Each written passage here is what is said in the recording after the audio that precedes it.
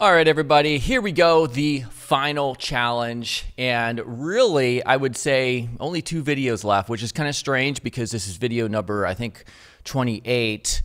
We're going to skip 30. We're actually going to do 29 videos in 30 days. And the reason I did that is because, not because I'm lazy, maybe partially, but also because a few of you have mentioned you want a little bit more time for one of these challenges. So the last challenge, I'm giving you two days. So let me show you what the actual challenge here is. All right, so if you go to the Figma community file, go to the lesson 14 final challenge right down there. And this is the challenge. As you can see, it's like a blank slate. I used AI to help generate 20 different concepts.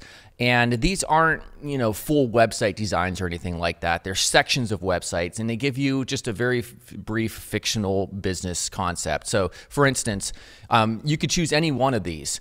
So, um, a fitness tracker dashboard, here's a recipe app home screen, maybe a music player UI, a travel blog homepage, a charity donation form, you know, whatever. Whatever you think, you know, that you want to tackle go ahead and put it here in desktop version and we'll see what you come up with and you have full creative freedom and so that's why it's kind of exciting to take a look at some of the results that are submitted over the next two days and see exactly what people come up with um, I know some people are, are going to nail it. A lot of newcomers are still not going to, even if you followed along with this 30 day series.